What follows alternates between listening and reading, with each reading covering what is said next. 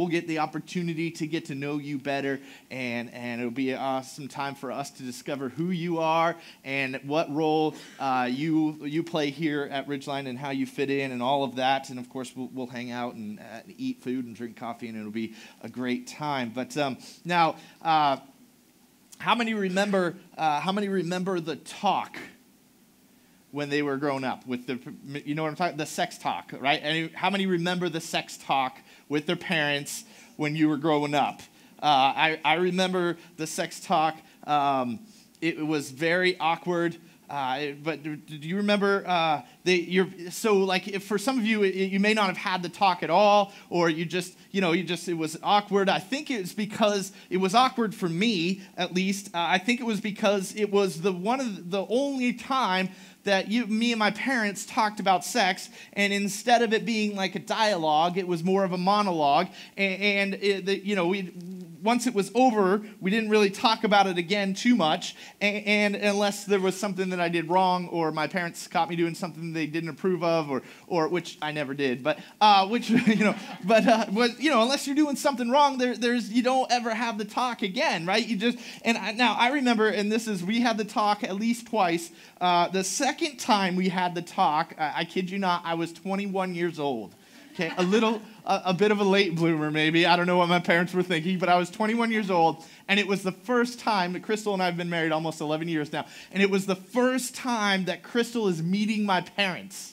And my dad thinks that we need to have the talk all over again for whatever reason, like well into adulthood. And it was so awkward. It was incredibly awkward because it wasn't something that we usually talked about in our home uh, very openly. Uh, now, there were certain things that my parents were open about or whatever. Like, like my parents loved each other very much and they were very affectionate, especially, you know, and, and that was cool to, to have that example to see. And I, I'm not saying, but like just in general, we didn't talk a lot about, you know, kind of sex and whatever. So last week, we started this series that we've been in uh, called Sex with the Lights On. And if you remember, last week we talked about getting healing from your sexual past in a series, in a, in a message called Sexual Healing.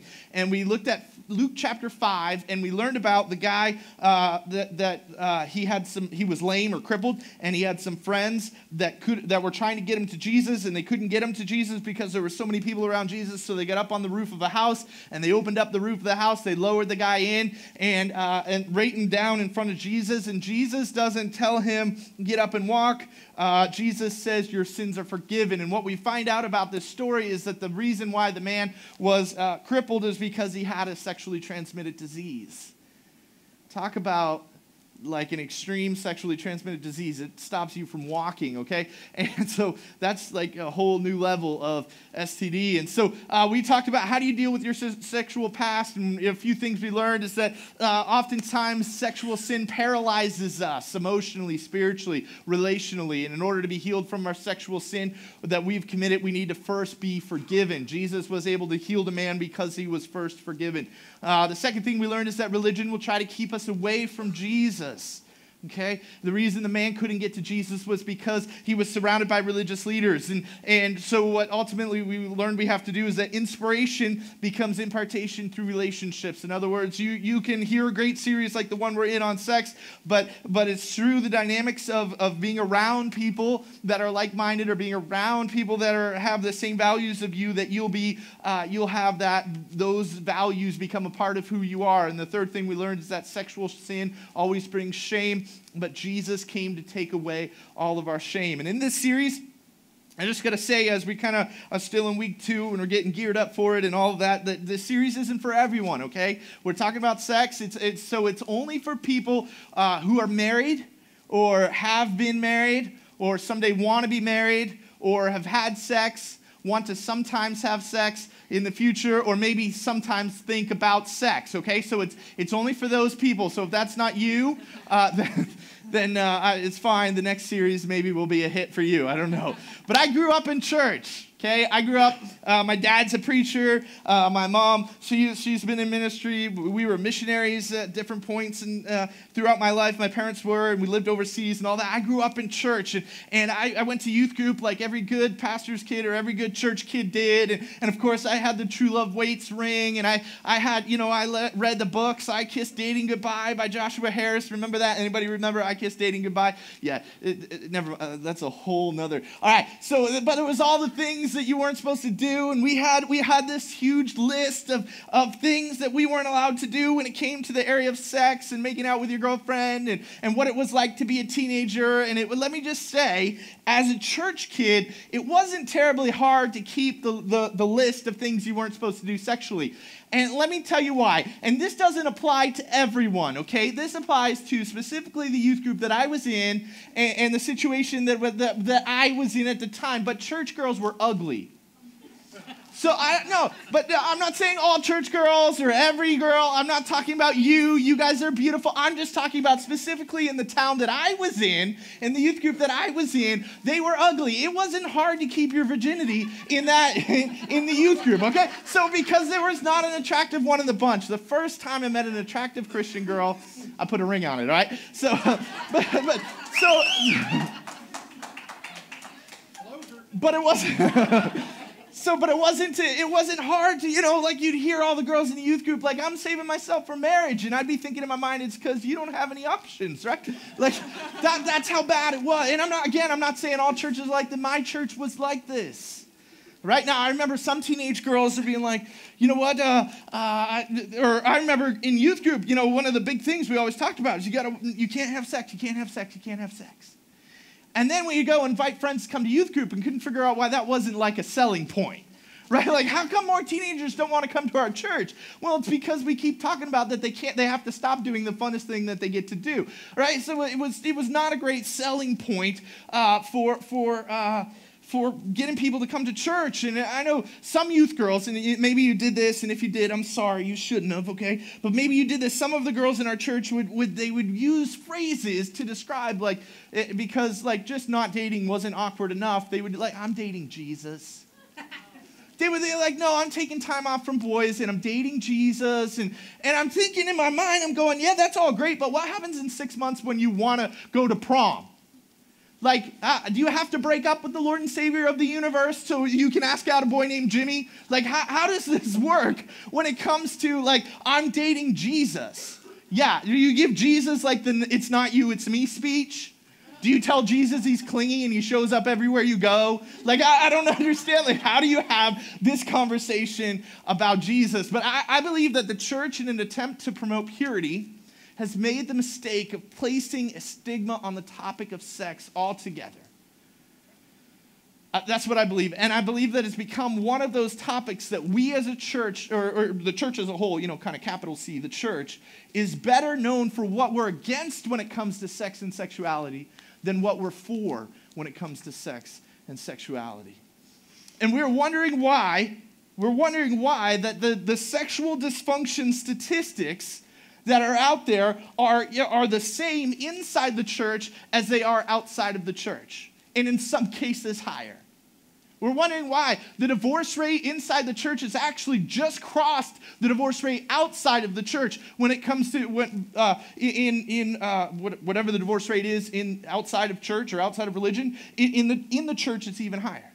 And we wonder why there's so much dysfunction when it comes to our sex and our sexuality in, in, our, in our own marriages, in our own lives, in our own teenagers, in, in the people around us. And, and I believe part of the reason is because as the church, we've placed a stigma on the topic and we've kind of we've put it in the dark. And we just decided in, in, a, in, a, in kind of maybe an attempt to make it, uh, to, for, to promote purity, we just decided we're not going to talk about it altogether. And I think that it's important that we change that. And so I want to share a scripture verse with you today that actually talks about this exact thing.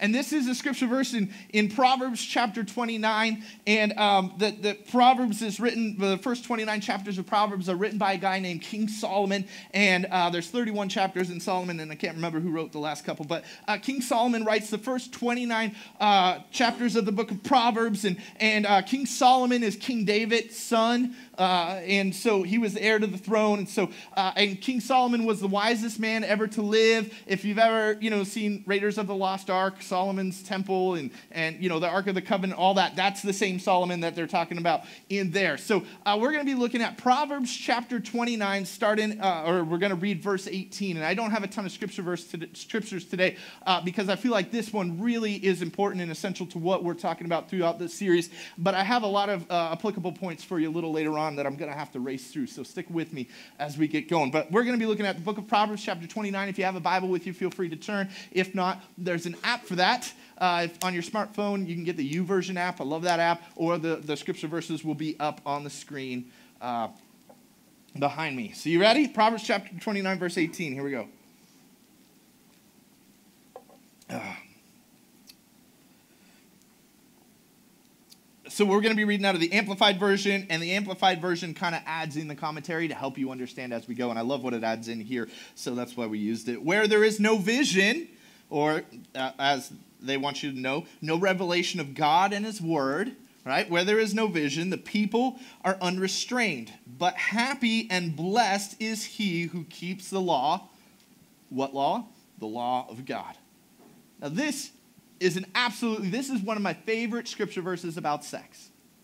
This is absolutely one of my favorite scripture verses about sex. And this is exactly what has happened in the church today, I believe. That we have had a lack of vision when it comes to our sex and our sexuality, and therefore we've had a lack of restraint.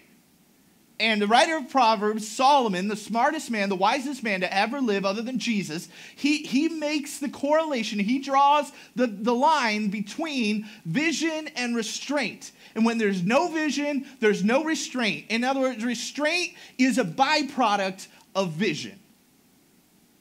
And so, if, for instance, if you say, you know what, I decide I want to look buff. I want to look masculine. I want to look muscular. Or, you're, or if you're a lady, uh, you know what? I want to tone up, or I, I want to be more physically fit, or I want to slim down, or whatever. Then, then in order to do uh, to do that, then you may make some decisions of restraint along the way. Why? In order to accomplish your vision. See, I may decide if I'm gonna, you know, try to put some some weight on, some muscle on, that I need to eat a certain way or not eat certain things, or uh, I need to spend my time doing going to the gym or or doing whatever. Why? Because of my vision to look a certain way. Let me let me show it to you real. So we're bringing this back, all right? So here we go let's say that this is, uh, of course, I look a lot closer to this, but, um, but let's say this is what I look like, right? Let's say this is what I look like. This is what I want to look like over here. Uh, but when, when X is what I want, when this is what I want, but this is what I am, I'm willing to make some sacrifices or exercise some restraint to get this. When this becomes my vision, but this is my reality, see, I'm willing to do some things differently. I'm willing to exercise some restraint. I'm willing to sacrifice some time. I'm willing to not eat some things. I'm willing to, you know, to put to go to the gym several times a week and and to, you know, to make my what what my vision is a priority. I'm willing to sacrifice or I'm willing to exercise some restraint, not do some things. And I think that that's, uh, that's important. As you probably guessed, that's not actually uh, my, what I look like. See, I see this all the time, right? what? Yeah, I'm a little more tan. Uh, so I see this, I see this all the time when it comes to marriage. And, and if you've done this, I, am not knocking you. I, I'm not, you know, Grace grace, grace, grace, but, but let's move forward, okay, together. But if you've done this, uh, but I see this all the time when, when you get with couples, and I used to live in Florida, and I did a lot of beach weddings, and I did a lot of, you know, uh, marrying people out on the beach, and, and of course, church weddings and, and all that. When you're a minister, you have the opportunity to do lots of those things. And, and so I did a lot of those things. And, and one of the things that I would notice constantly is that you would see a couple come together on their wedding day, and they had put so much plan and so much thought and so much preparation and they've spent so much money and they have just like like the you can tell that the bride she has been dreaming about this day since she was like 3 years old right? She's been planning for this. She knew she's had her dress picked out for like uh, you know for 15 years right? Or or she knew what flowers and what colors or where or what location. And this whole thing has been planned out and planned out and planned out. And they plan they plan for the wedding ceremony but they ne- but but I've seen that they never make any plans for past the wedding night. They have no vision for anything in their marriage past what happens that night. No vision. And what used to drive me nuts is like, remember when you were 17, 18 years old, and you're like, man, I got to get out of this house. I can't handle being with my parents. They're so whatever. And I think like you, you couldn't handle being with your parents who doted on you for 18 years, and you're about to spend the rest of your life way longer, two, three, four times longer with somebody else, and you've made no plans for how this is going to work or how this is going to be successful or how you're going to handle it. You've done no premarital counseling. You've done no, you've had, you haven't had the sex talk. You haven't done any preparation for anything past your wedding night. And you have no vision for that.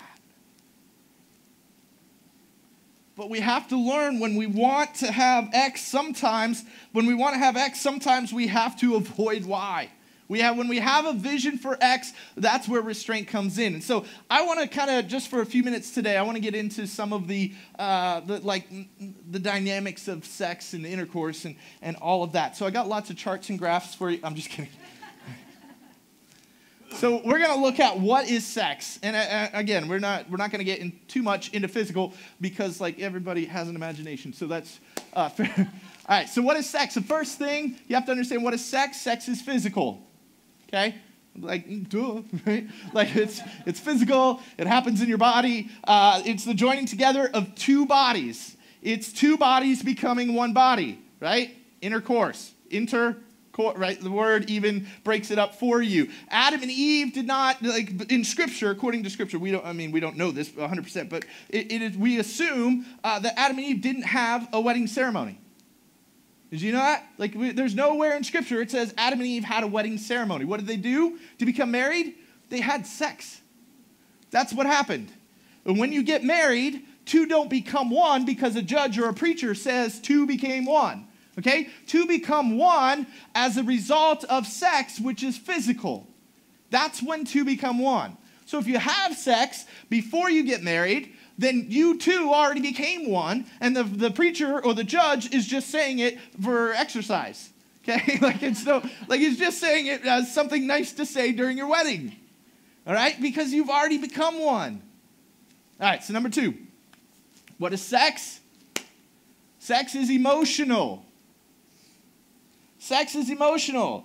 Sex involves our emotions, not just our bodies.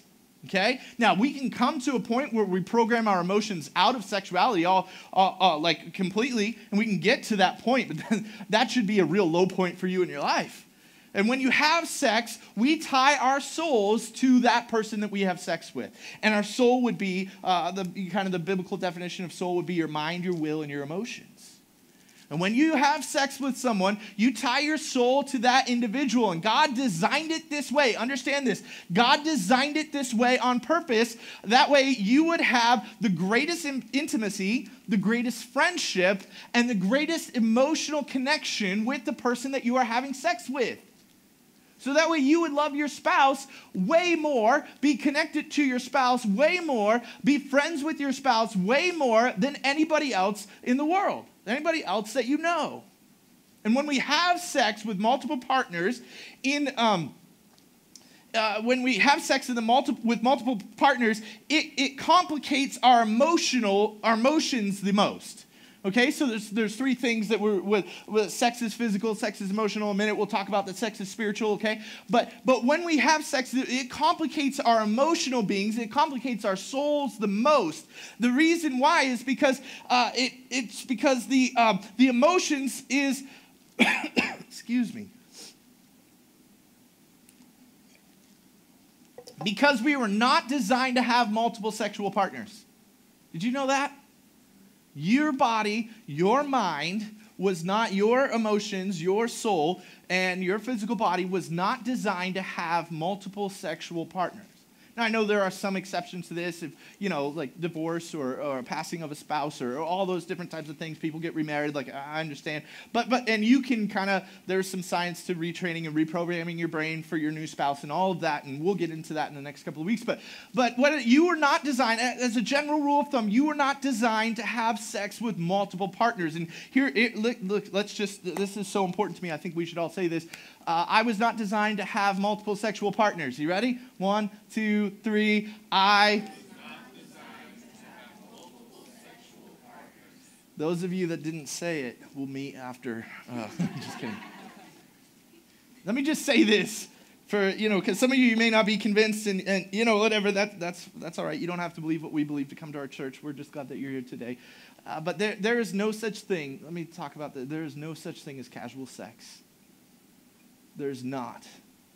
We can call it what we want to call it, but there, is, there really is no such thing as casual sex. In fact, casual sex is, creates casualties in our, in our future intimacy. It creates casualties in our soul. It creates casualties in our spiritual walk.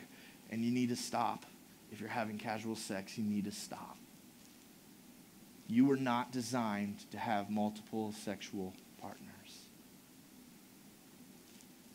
Number three, what is, what is sex? Number three, sex is spiritual.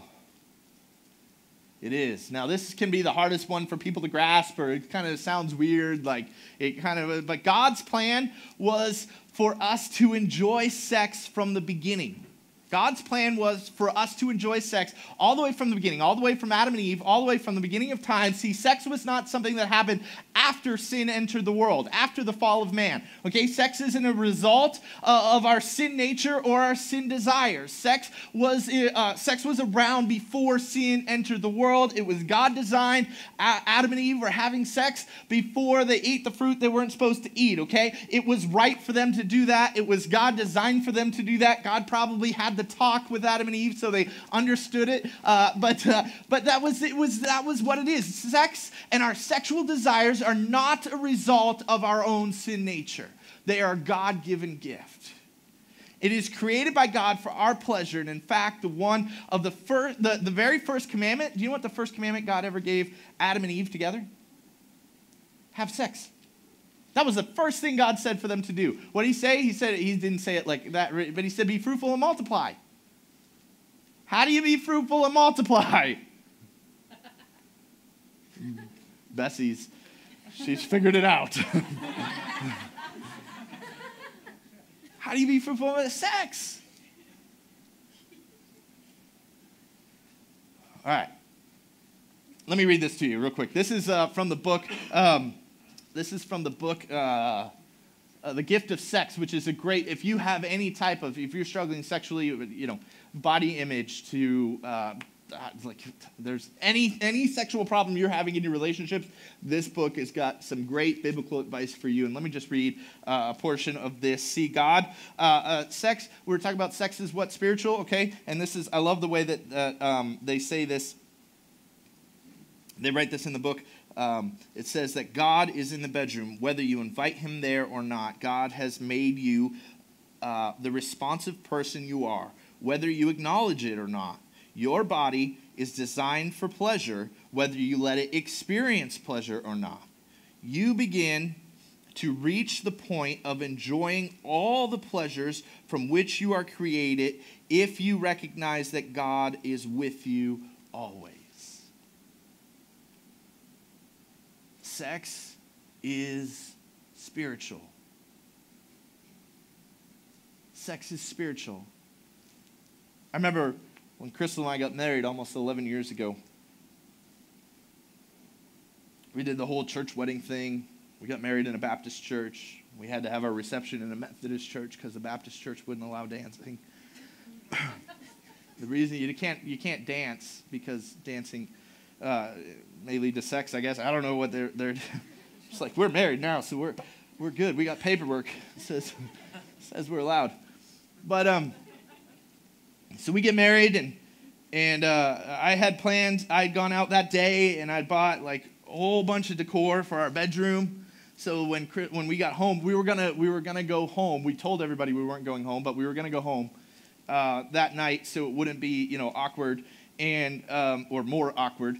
And uh, so we were, we going to go home, and we just told everybody we were getting on the road. We were going to uh, vaca- we were going to honeymoon in Nashville, Tennessee, and we did. The next day, we got up and we drove, and, and but we go home, and I bought brand new flowers, candles, bedspread, new sheet, like every like I went all out at Walmart, and. Uh,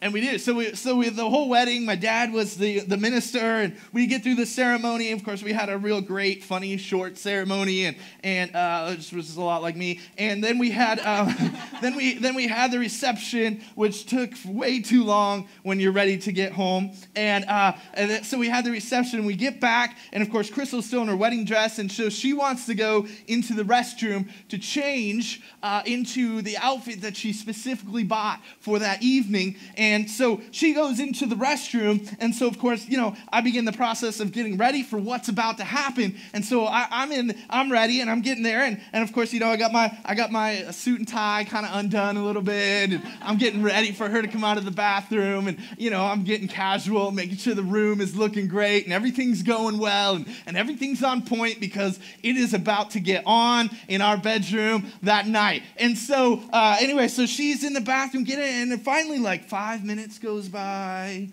10 minutes goes by, 15 minutes goes by.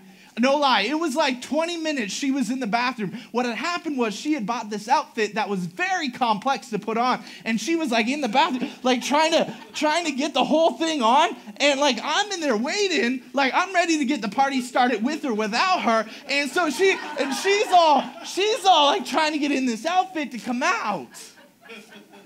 And finally, she gets in this thing all right. She's looking banging. She's looking awesome. And she comes out, and I see her.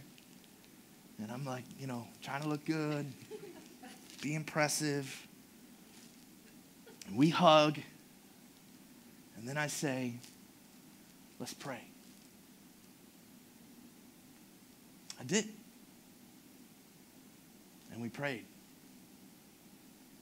And we invited the Holy Spirit, we invited God to be just as much a part of that area of our life than every other area of our life. Why? Because we understand that sex is not just physical and it's not just emotional, but it's also spiritual. So, how should we learn about sex, or how do we learn about sex? Parents, this part's important. Here we go. I want to I want to get through this with you. I want to show you some things here. How, how do we learn about sex? Well, th- this is how it should be, okay? So if it's not, it make some, make some tweaks in your home because this is super important. The first way uh, that we learn about sex, uh, the, the first place we should learn about sex is in the home first. Don't wait for fifth grade anatomy class for your kid to learn about sex. It's already way too late and you've already lost the battle, okay? Don't wait. Now, you can change it around. You can make some adjustments in your home. Of course, the grace of God is going to help you in all of that. But, parents, you are responsible for your kid's sexual education, not the school system. Okay? And you are teaching your child about sex either intentionally or unintentionally. What you are saying or what you are not saying is teaching your children about sex okay? And it's, it should be talked about. By talking about it uh, or by not talking about it, you're making statements about sex, and sex ed should start from day one. It really should. It should start from infancy. In fact, what is the first question we ask about when you find out somebody's pregnant? What's the sex? Right? Is it male or is it female? That's the first question we ask. And so we, we, talk about this all the way from day one. Of course, there's levels of appropriateness per age. And, and I'm not saying, you know, just when they're three, get out a diagram. And right, like, I'm, I'm not saying that. But, but the way that we are open about it or not open about it, or, or the way that we are in some ways appropriately discreet about it, or inappropriate, or, you know, not inappropriately, but, but appropriately open about it, those things make a difference. And so the first place that you should be learning about sex or your children should be learning about sex sex is in the home, the second place. Church. A second place your children should be learning about sex is in church. See, we commit to, as a church, not placing the topic in the dark, but allowing the topic to be out in the light and, and showing and sharing and teaching a biblical view of sex and sexuality. That's what we commit to as a church. We commit to keeping it in the light. Number three, third place that you should learn about sex is in school. It's good to learn about the physical ins and outs the, phys- the, the ins and outs, but understand the physical ins and outs, the, the kind of the biology of it all. I mean, that, that's, that's the least important, okay, and the most obvious, right? Like it doesn't take rocket scientists to figure out intercourse, okay? It, it just is not that hard. And it's good that schools teach the biology side. I'm not knocking that. That's an important thing to understand how our bodies work and how we are designed and all of those things. But you know, school should not be the first place that your children or that a kid learns about sex. It should be a third in line. Lastly, everywhere else.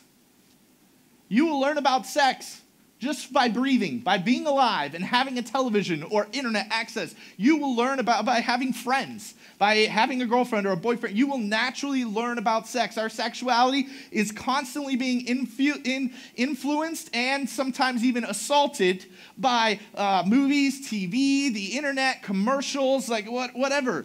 Uh, it's constant. We are constantly uh, learning about sex from everywhere else. But when you align it this way, when you align it home first, church second, school, then everywhere else, then you're able to you're able to educate a child and and and, and teach a child the, the, healthy ways of sex that aren't skewed, and, and they'll they'll keep this they'll keep this uh, kind of this priority or this openness to talk about sex all throughout their teenage years.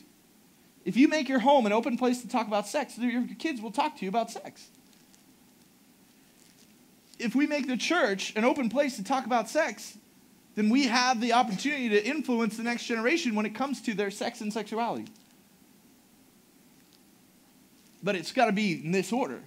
If we swap it and they're learning school first or everywhere else first, and all they know is that the church has placed a stigma on it, they'll never have a healthier, godly understanding of sex. We learn about sex everywhere else. It reminds me of the old joke that what do you, what do you, what do you call, what does a leg model sell? Right? A leg model. She sells lotion, maybe, pantyhose, a razor. What does a face model sell? Face model sells, you know, makeup, eyeliner, hair products. What does a breast model sell? Everything else right? Hardee's hamburgers, right? Like we've all seen the commercials, right? We know, like a breast, and everywhere we're constantly being bombarded by sex. So I, have got to finish up real fast, but here we go. Um, how do we plan for great sex? This is this is super important. Okay? Because why? Without vision, there's no restraint. And so, if you don't, even as a child, as a young person, as a teenager, as somebody who's pre married, uh, if you do not have a plan for your sexuality, you will not have the necessary restraint. Uh, Solomon promises, Solomon writes it, and he, he was a smart dude. So, the first thing, before you go horizontal, get vertical. Now, this is kind of a little churchy, uh, churchy, uh, funny churchy kind of expression, but before you get horizontal, before you lay down with somebody, get vertical. A relationship with God is one of the key components to having great sex. It really is. Uh, uh, like, uh, satisfying, great, long term, satisfying sex. Re- USA Today, or US World and News Report, several years ago, I think almost back in the 80s, did wrote an article and they, they uh, did a bunch of research and they, they called the article Revenge of the Little Old Church Lady. And what they said, they, they they wanted to find out who was having the best sex, the most satisfying sex, who was uh, giving the best sex, giving the most satisfying sex, and, and who was, uh, you know, kind of enjoying sex the most, who, who was having. And what they found in the article and in their studies was that the people who were having the best sex were women, older women who had had one sexual partner and who went to church every week. Makes you think about grandma a little bit different, doesn't you?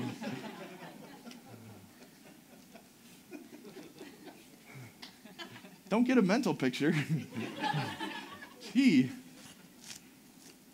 Right? That's who's having the best sex. So you want to, guys, you want to have better sex? Come to church more often.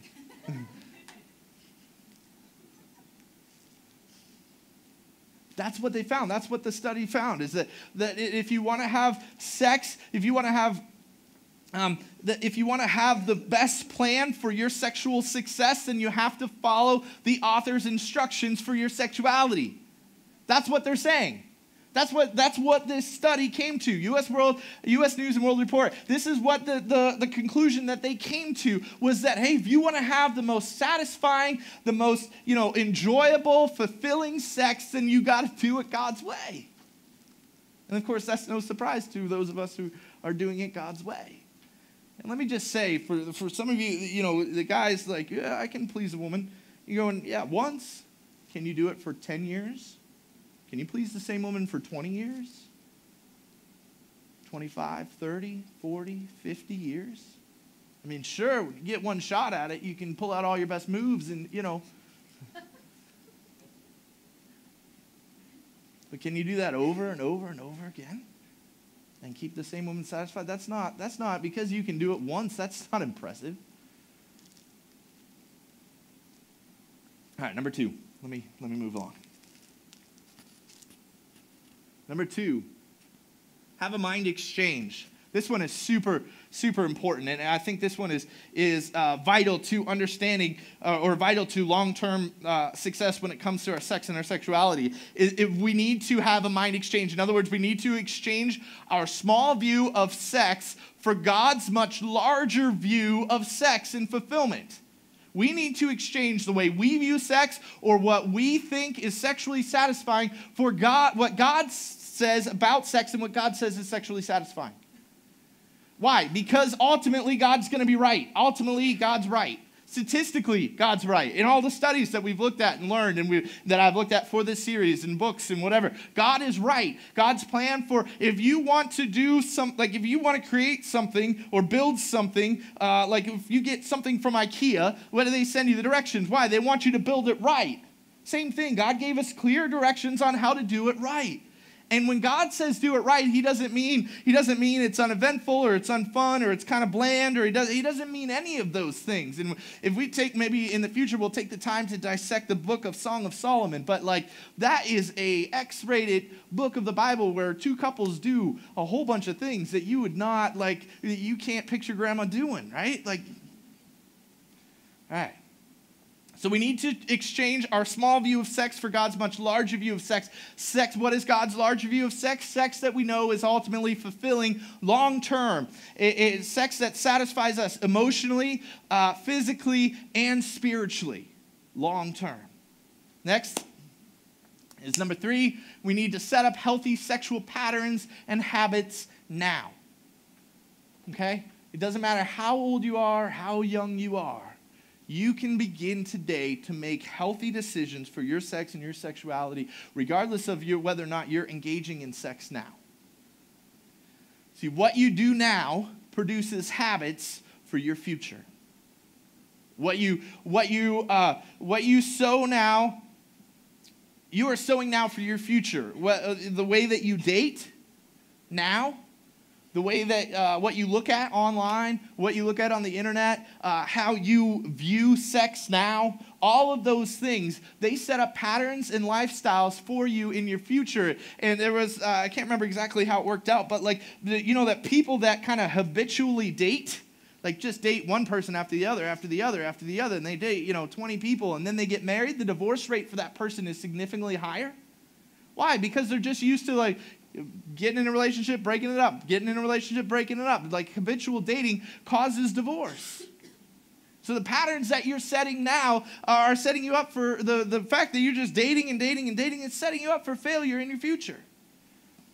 What you look at now, uh, you know, well, you can say, you know, maybe you're a young Christian kid, well, I only look at porn because, you know, I'm not married, and when I get married, I'll quit looking at porn. No, you won't. You will not.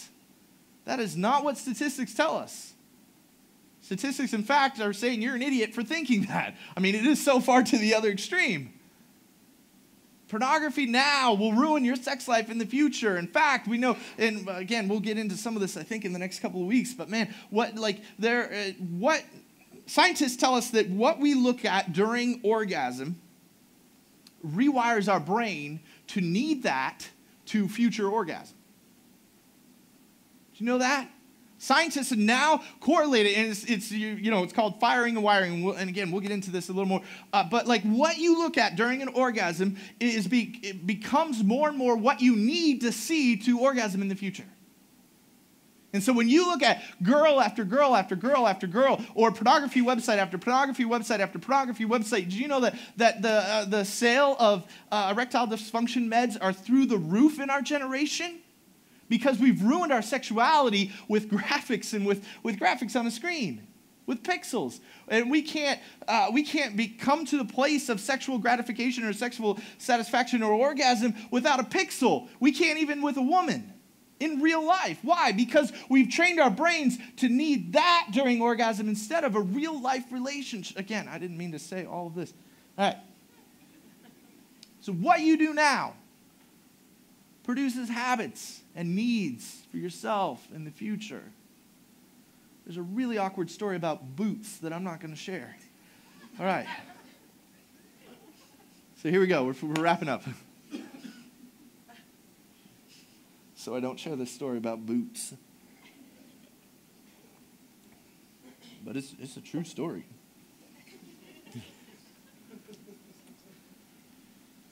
All right, let me sit as we, as we finish up. So here's, here's my heart for you, and, and here's what I want for you.